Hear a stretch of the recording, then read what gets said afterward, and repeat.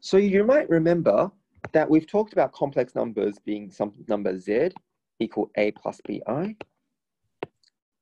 where a is the real part of z, and b is the imaginary part of z, and a and b are both real. And we've talked about how we would then, of course, be able to add, subtract, multiply, divide complex numbers using the sort of algebraic definitions, which is basically like collect like terms, expand, use conjugates, which is all like your irrational things there. And, you know, that was really the focus there. And we also talked about how we might use that to sort of solve quadratic equations that had no roots.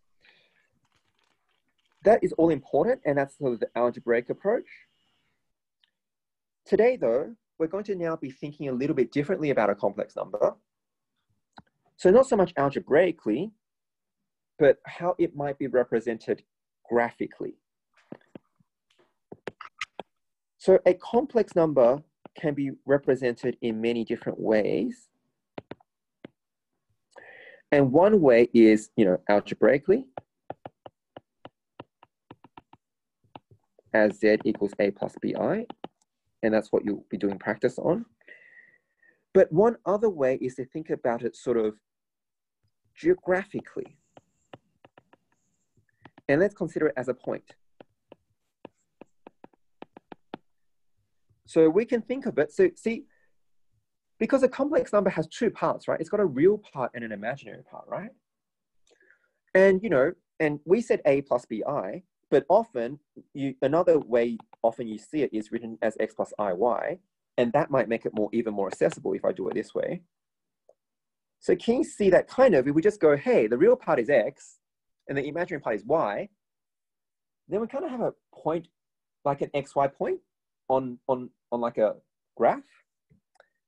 So basically we can just, you know, we can just graph it as, you know, point, you know, xy or AB, to whatever letters you choose. So that is one other way we can represent a complex number. I mean, there are many ways. We're only going through the first two. There are, there are other ways, just to be clear.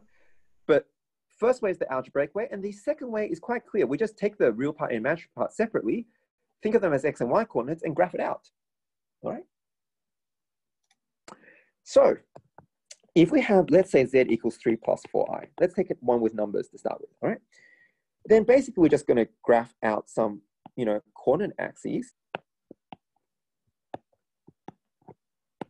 And we kind of just go three across. We go four up. So we say this is the 0.34. And this 0.34 can be represented, like, let's call this point P. So point P, point P has coordinates 3, 4, and represents the complex number z equals 3 plus 4i. So yeah, we just think of it as a point now. So every single point on, on this sort of plane here obviously has a sort of x and y coordinate as we used to think about them. And that will therefore be, you know, representing some complex number, including real and imaginary. And if you think about this, where will the real numbers be on this diagram?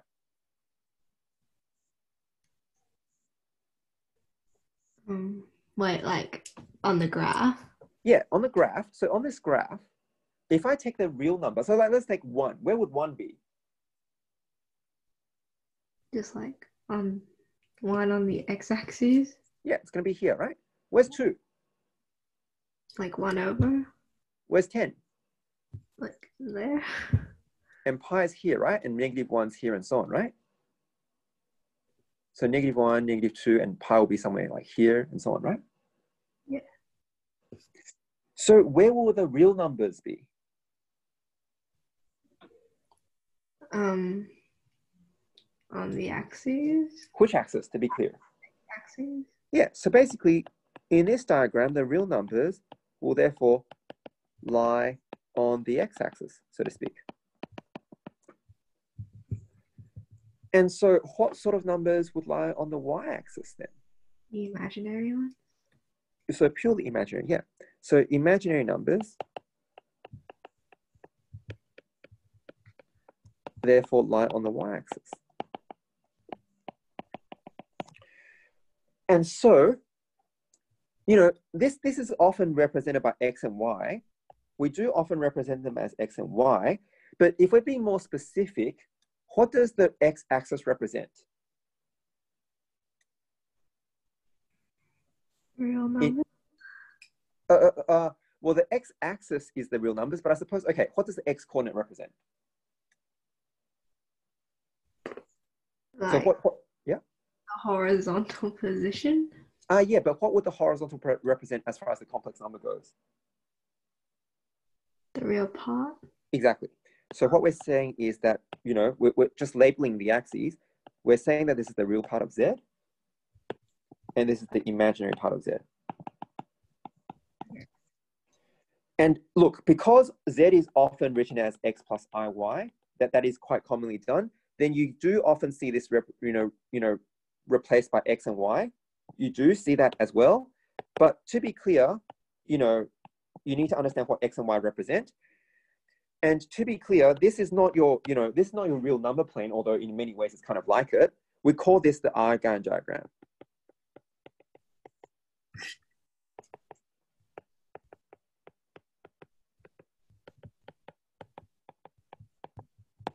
So the Argand diagram is basically when the real axis, uh, when the when the horizontal axis is, you know, the real part, and the horizontal axis, uh, the vertical axis is the imaginary part.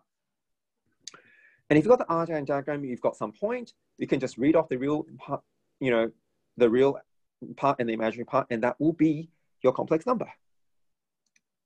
Pretty simple, yes? And so if you think about how this sort of relates to real numbers, how do we relate to real numbers? How do we graph real numbers? Um, like the imaginary part of zero. Oh, well, sure. But let, us go back to real numbers. Forget complex numbers for now. How do we graph real numbers? Think E8. Like y equals mx with b. No, no, no, no, no, no. That, that's, that's, that's with like, that's not numbers. That's a, that's a line. How do we represent, Points how do we represent numbers? Like all the real numbers. on the number line. Exactly, right? Just like that, right? Yeah. So you just had like zero and you just had like one, two, negative one, negative two. So this is the number line, which is fine for real numbers. Now for complex numbers, this is basically equivalent for complex numbers. We basically just said, well, real numbers aren't enough anymore. So now we're just gonna, you know, expand. This is the real numbers, right? Left, right, as before. But now we kind of expand up, down. So in one other way you can think about it is that the real numbers are one dimensional and the complex numbers are two dimensional.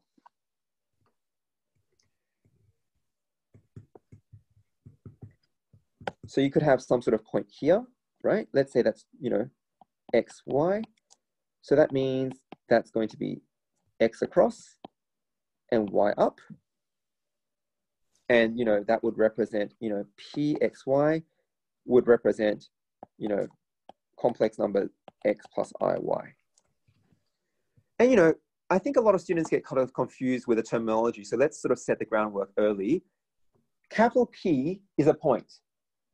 And x and y are real numbers, which are the coordinates of this point. But z is the complex number. So z is not a point. z is a complex number, but it can be represented by a point, which I'm labeling capital P right now. But the real part of z is equal to the, you know, uh, x coordinate of the point, and the imaginary part of z is equal to the y coordinate of the point. Everything clear there? Good. All right, so let's kind of um, sort of expand on this concept here. So is there a concept in real numbers that tells us how far away I am from the origin, from zero? Like, you know, if I take a number, how do I work out how far it is from zero? Um, the distance formula. For, for, for this, for, for the real numbers, Oh, I know. You just, just Isn't it just the number from zero? Well, it could be. Is that the only possibility? Um, well, like What the if, what if you're like negative? What if you're like negative 10? How far away from you are you from zero? ten units. Yeah, you are 10 units away. So how do I go from the number to the distance? Absolute value. Right. So, you know, when you did absolute value, you may have learned that it represented the distance of the number from zero. So the concept of distance in real numbers was like, you know, the absolute value of your x, you know, represents graphically, if you think about it graphically, I mean, obviously there's the algebraic definition as always. There's the, you know, the algebraic definition, just a bit of revision, is, you know, x if x is positive or equal to zero and negative x if x is negative. But the, you know, graphical sort of interpretation is, you know, the distance from x to zero. Does that make sense? Yeah. And you know, there's a, also another alternative algebraic definition, which is the square root of x squared. So that's just revision for your absolute value there. So you can see how things have both an algebraic definition or even more than one, as well as a graphical sort of interpretation, yes? Yeah. Now, what did I say was equivalent to absolute value for complex numbers? Um, modulus. Exactly. So if the modulus is going to be the equivalent, then what should it represent? The distance. From And how would you find the distance? the modulus. no, no, no. Think about it. P is here, right? Yeah. Where are we measuring from? From zero. The Which hypotenuse is here, right? So how will we find that distance? Pretty much. Oh, a squared plus b squared root. So- Yeah. Ah. And wasn't that what we told you was the modulus? Yeah. So that's why, you know, similarly, the modulus of z, so the modulus of z, so firstly, it's written the same way, but obviously we read it as the modulus of z now. So the modulus of z is algebraically the square root of x squared plus y squared, since I've picked xy here. So, no, so this is the algebraic definition. But as I'm saying, you know, you know, when we first did al- the modulus, I said, yeah, just do the algebra for now. But there is a meaning behind it. And graphically,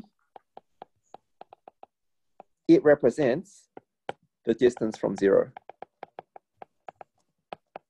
or the origin. All right. Yeah. So we're now going to start being able to give you some meaning behind of the things we're doing.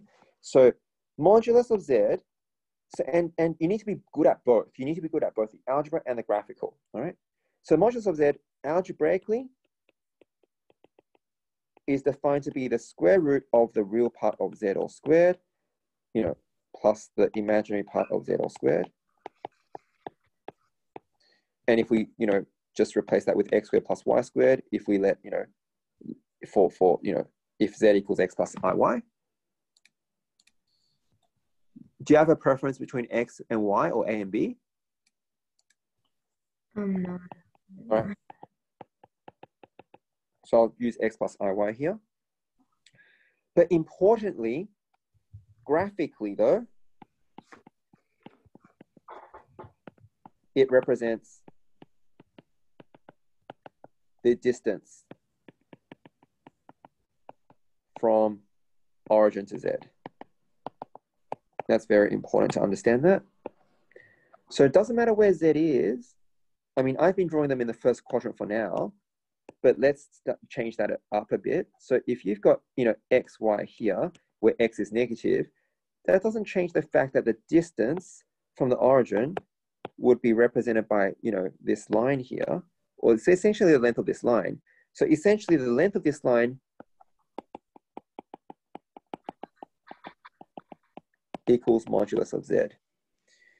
And you will notice that, you know, this is, you know, some negative number a, you know, and this is some positive number b, and, you know, you would still take that up, right?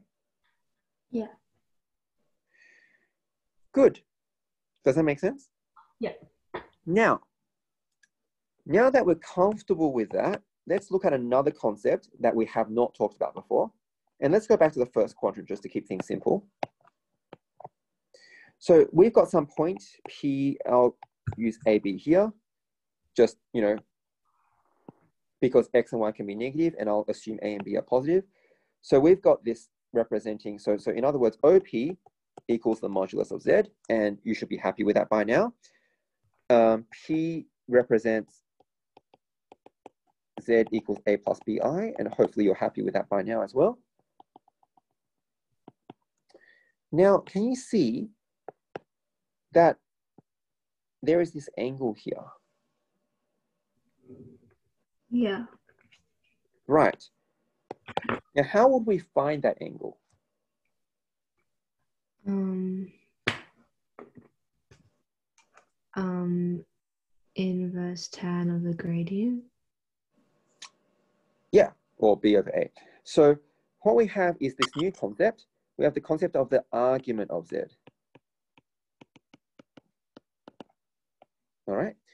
So the argument of Z is the angle between, so the horizontal to the right. So, you know, we're going to the right, we're not going to the left. So we're not working out this angle. We're not working out the angle on the left. It's always from the angle to the right. Mm -hmm. And, you know, the line, or more technically, later on we'll say ray. Ray is more correct. Do you understand what a ray is? Um, What's the difference between a ray and a line? Um, a ray starts from a point. Yeah, it doesn't go forever. So, so we're saying it goes from O and goes towards P. Yeah. So it doesn't continue. So yeah, if you understand the distinction, which you know would have been mentioned in earlier years, but I think most people forget because you know it's not you know used that much. Um, and you know, you can you can think of it as a line if you prefer, but technically it's a ray because you know it doesn't. You know, or you can think of a line interval, whatever. But basically, you know, it doesn't from O to P. So either you think it as a line or a ray. It won't matter for now. It will matter later for loci and things. But it, the it's a it's the angle between the horizontal and the line joining O to P, and importantly, in the anti-clockwise direction.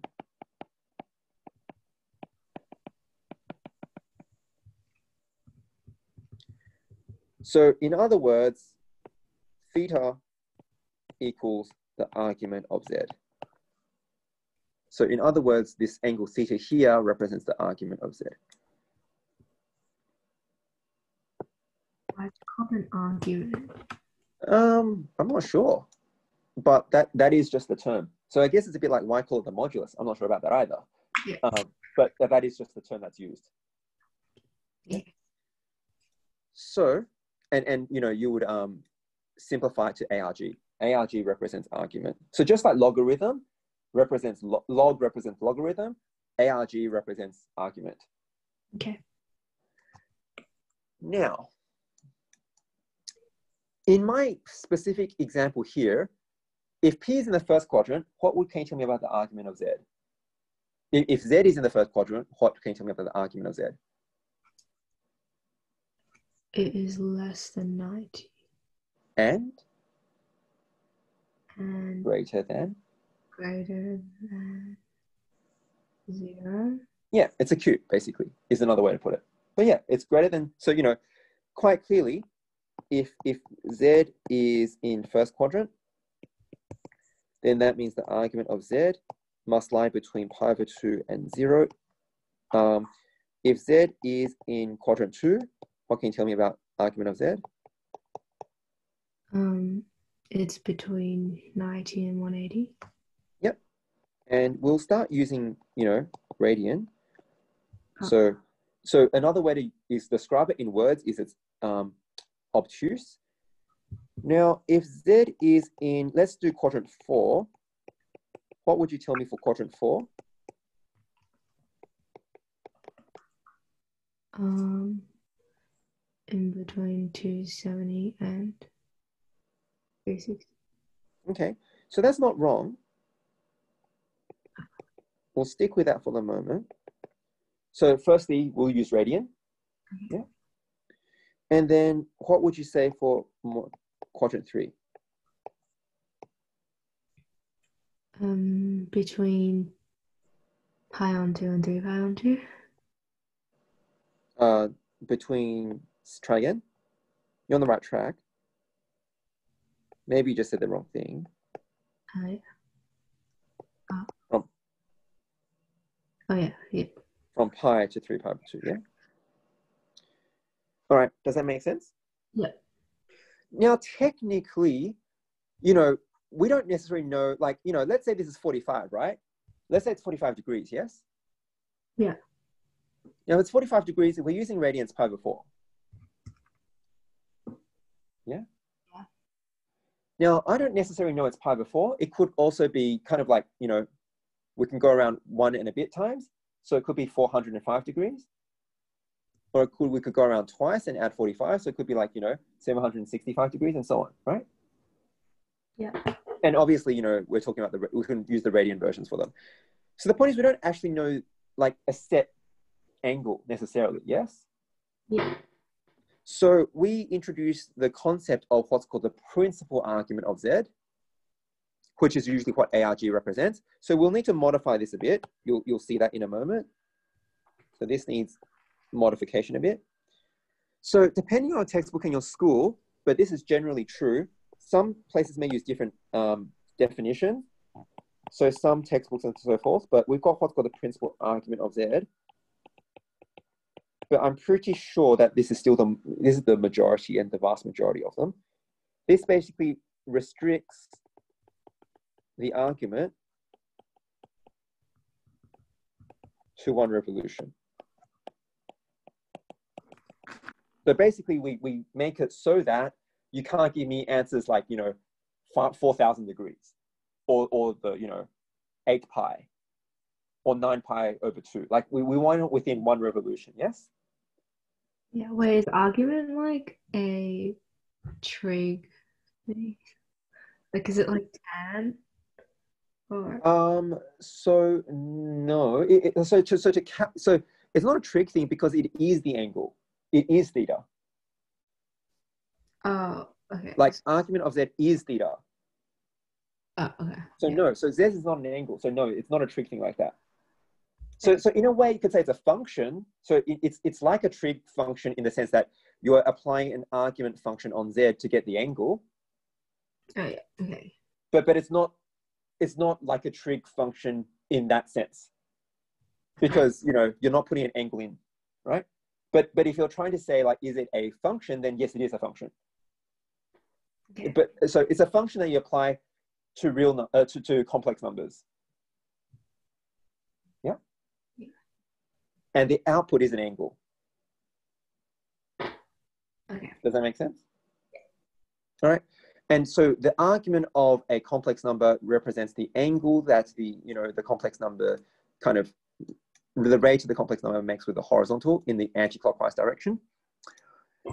Now, firstly, we will introduce this concept of the principal argument. So normally argz is the principal argument.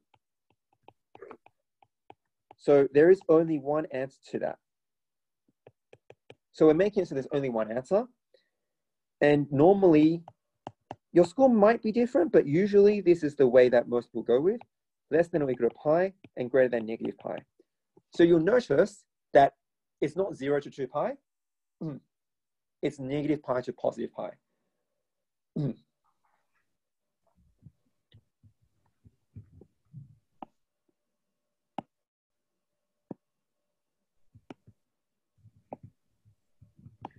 So it's restricted to one revolution only, but it's not from zero to two pi, but from pi to negative pi.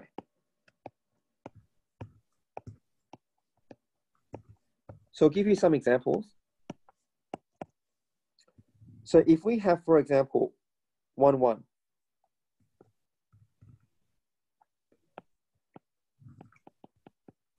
then you can see that this angle is going to be 45 degrees or pi over 4. So in other words, arg of 1 plus i equals pi over 4.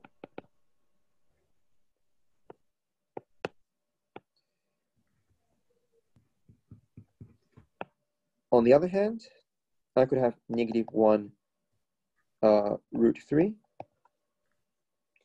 So if I have the argument of negative 1 plus root 3i, because that's what that point would represent, then you might recognize that this is going to be 60 degrees. But the argument using blue is going to be 120 degrees, or in other words, 2 pi over 3.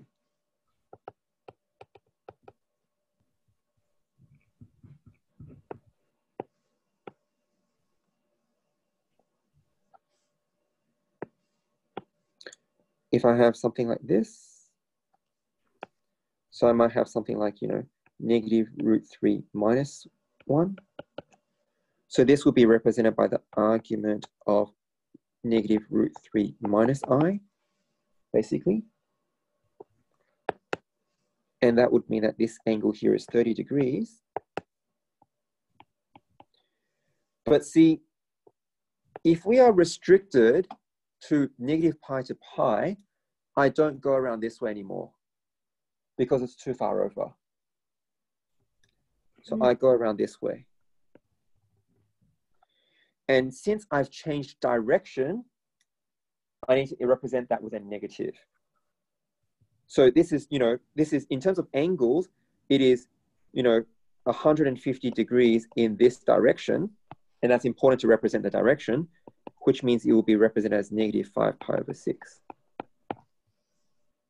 So is negative 5 pi over 6. And that's why I stressed earlier in the anti-clockwise direction for positive, right? So this is, you know, represents the fact you're going clockwise.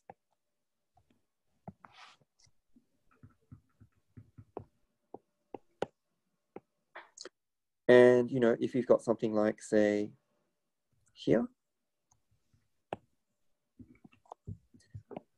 So let's just pick, um, I'll deliberately not pick exact values this time, just to just you know, represent. So let's say it's like, like one, negative two. All right. So this would be the argument of one minus two i. Now this will be, you know, that angle there. And that, you know, I'll have to work out the sort of, you know, you can either you work out the acute angle using positive numbers and so on, but for this question, you can see that basically, you know, maybe I'll draw it out at the top to make it a bit clearer, but you can see that this is one and this is two, and I'm trying to find this angle. Yes? Yeah. So theta will therefore basically, if we're looking at the acute angle that's positive, is tan inverse of two, yeah?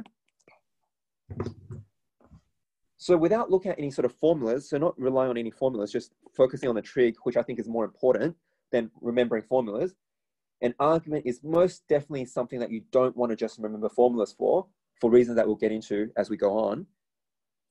I'm basically saying that it's going to be negative, because I'm going clockwise, of tan inverse of 2. And, you know, we can use radian. If we you turn your calculator into radian mode, you know, you can work that out as a number if you like. Um, so it's going to be approximately negative 1.107 in radian.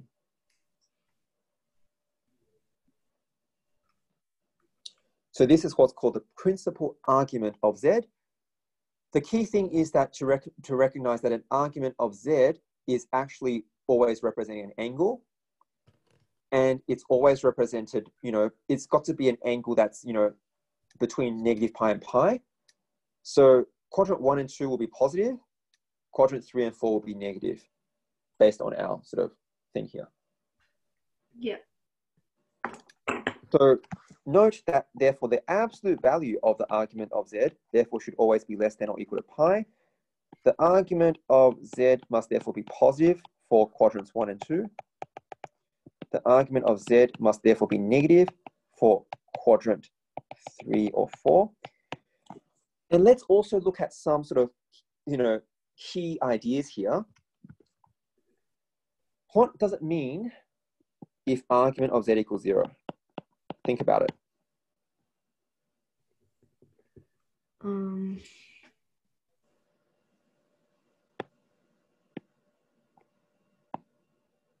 then the angle is zero.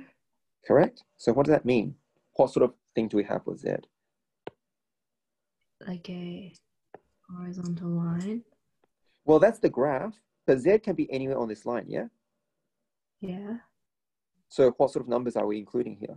Oh, only real numbers. All of them? Yeah. Okay, have a think about this. What does it mean if the arg of z is okay, okay, let me let me because there's a few things we want to clear up as we go. What if I've got a number here? All right, what's the argument of z? Let's let me do it that way. If I've got a number on the left, so let's like let's say minus three, what's the argument of that? Yeah. Ah, it's not zero. Um, It is not zero because it's going from the horizontal to the right. 180. So in other words, that would be 180 degrees or pi. So in other words, the argument for, for that one, now is it positive or negative 180? To be clear. Positive. Yep. So by definition, and this is the one, so, you know, the only time it overlaps is, you know, at 180. And by definition, we've defined to take the positive in that, in, in that case. So negative is obviously not wrong, so to speak, but just because we've defined it this way, we would prefer the, you know, by our definition, in that case, the principal argument is pi. Yeah. So this is going to have an argument of pi, positive pi. Now, so if argument of z is zero, what type of number do we have? Positive real number. Yeah, so it's not any real number. So that means, you know, this is the case for positive real numbers. Now, what if it's like pi? Um, a negative real number.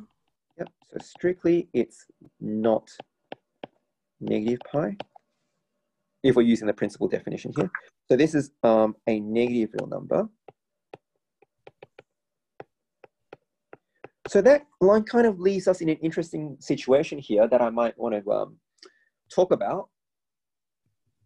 See, we've talked about positive real numbers, right? Yeah. We've talked about negative real numbers, right? Yes. So what number have we not talked about that's real? Zero. Yeah. So let's think about that. What is the argument of zero? So think about it. What do you think? Undefined. Exactly. Because, you know, the question's basically in which direction do we go from zero to zero?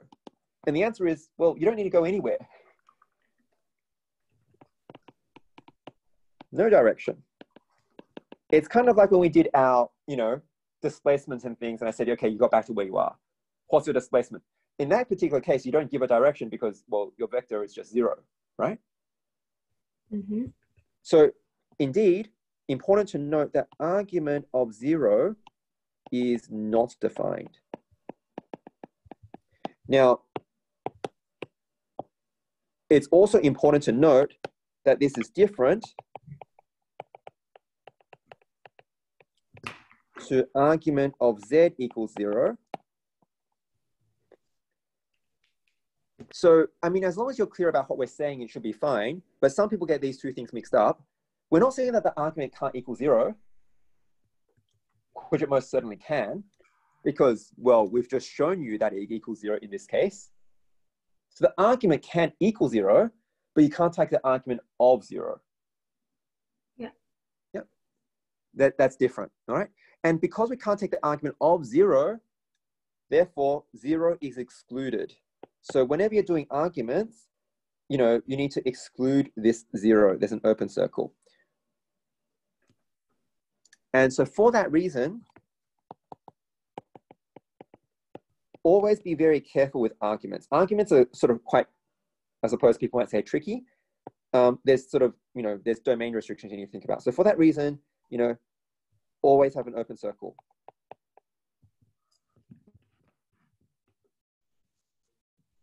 Mm -hmm. So like if you draw a graph regarding argument, then you just have to put a circle at the origin always.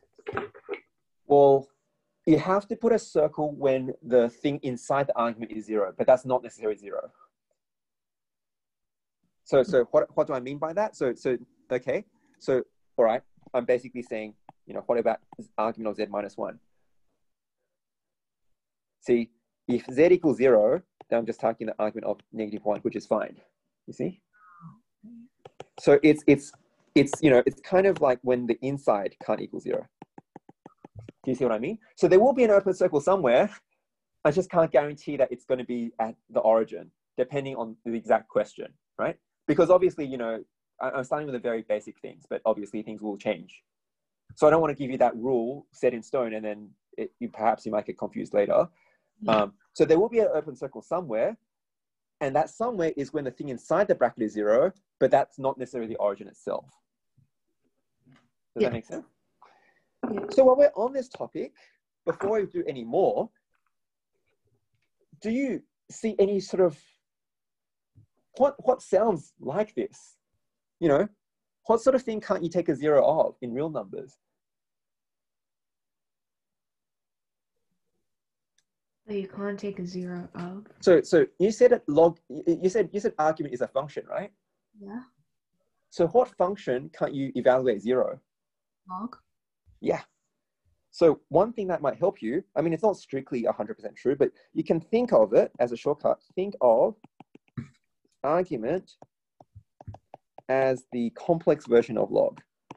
I mean, not, not exactly true, but if there is some sort of rationale to this, but not, not, you know, I'm not actually saying it is log. I'm just saying that, um, so, you know, logarithm gets abbreviated to LOG, argument gets abbreviated to ARG. They both can't be evaluated at zero, so that may help you sort of remember things like that, right? But the other reason why I suggested you think of it as log, and you probably don't need to, you know, focus on this now, focus on the sort of, you know, you can actually have to argument algebra. So I'm, I'm gonna do just very, very, very briefly run through it with you. I don't want you to focus on this yet, and we will, you know, because this is going to, uh, I want you to focus on the graphical, but I just want you to see why I say that. Because, you know, tell me, log of zero is? Undefined. Log of, you know, x times y is? Log x plus log y. Log of x over y is? log x minus log y. Log of x to the power of m is? m log x. All right. Take a guess. Or, you know, arg of 0 is? You can probably guess the others. Argument of z1 times z2 is? Argument of z1 plus argument of z2. Argument of z1 over z2 is? argument of z1 minus argument of z2. Argument of z1 to the power of n is? n argument n1. Yeah. So there are so-called argument rules that, you know, we will focus on a bit later. I don't really want to focus on them right now, but the, the, I'm just kind of briefly running them here right now, just to kind of let you know the, the reason why I'm saying it might be helpful I'm not saying they are exactly the same thing. I'm not saying it actually is, but uh, I'm just saying that it might help you to think of argument as a log in, in the sense that it, there are, you know, the rules helps you remember the rules because they're analogous. And the fact is you can't evaluate at zero is analogous as well. Yeah. But what you want to focus on, certainly for now, is the graphical interpretations. And so the argument simply represents an angle. You can't evaluate an angle, you know, from yourself to yourself, like you're just not going anywhere. It's like, which direction do I go from the North Pole to the North Pole? Like you don't go anywhere, right? The principal, the angle, obviously, because it's a revolution, you can spin as many times as you like. But if we talk about the principal argument, then there's a particular angle we're after. So we restrict it to minus pi to pi. Things to note, of course, are it's positive for quadrant one and two, negative for three and four. Obviously acute for quadrant one, obtuse for quadrant two, negative acute for quadrant four, and negative obtuse for quadrant three. Um, just interpreting it this way, we can then say that if its argument of z is zero, then it's a positive real number, not including zero, right? Just to be perfectly clear on that point. And if argument of z is pi, strictly not negative pi, if, you know, same thing, but that's the strictly the correct answer, then it will be a negative real number, not including zero. Yeah. Mm -hmm. And what do you think would be the argument? Uh, what if what if the argument is, you know, pi over two? Um, then it is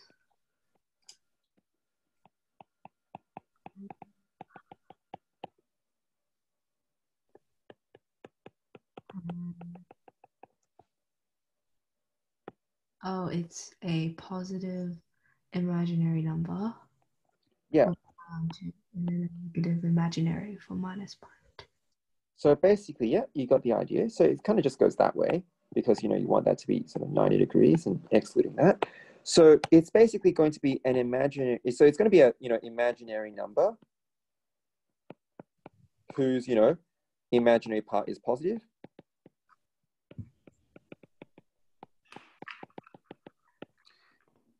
And, you know, the, this one, it will kind of be going that way. So this will be, you know, an imaginary number where the imaginary part will be negative.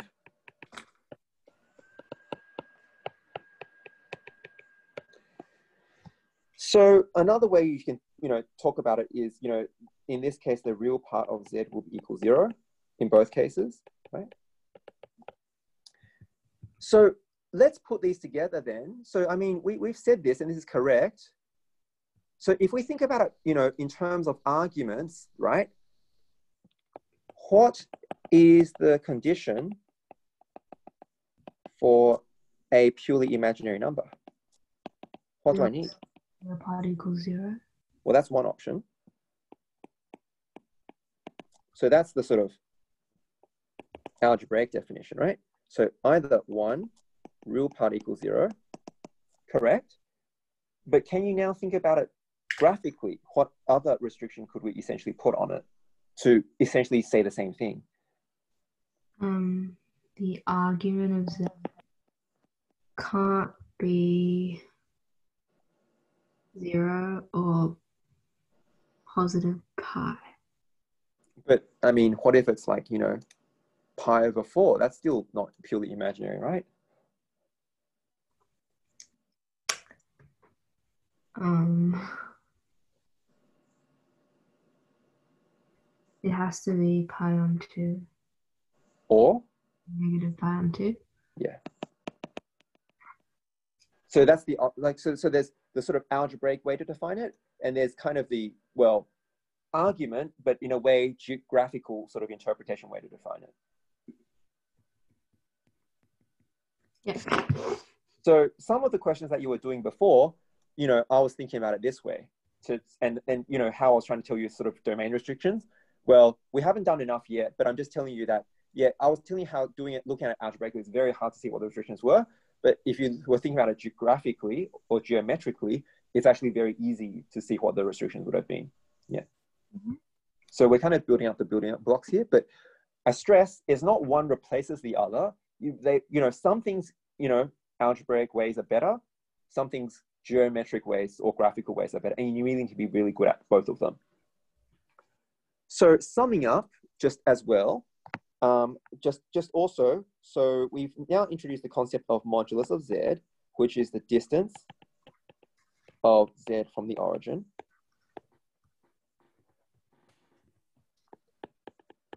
And just, you know, just remember that's of course, you know, square root of a squared plus b squared, where z equals x plus iy. The argument of z represents an angle, you know, from the, you know, measured from the horizontal to the right. And, you know, the line joining origin to z in anti-clockwise direction.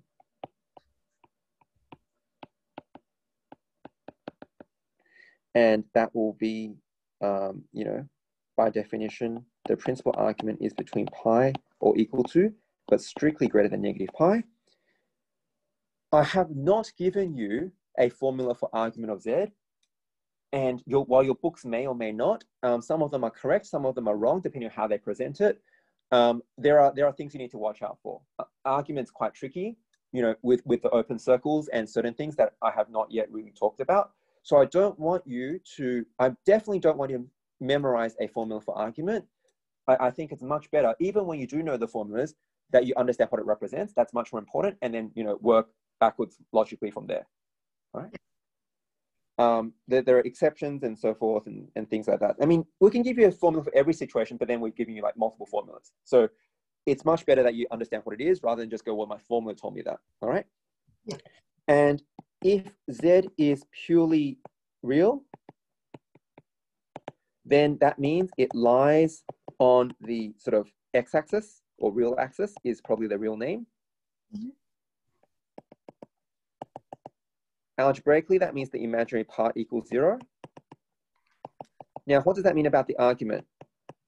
The argument Think about it. Zero pi. And if z is purely imaginary,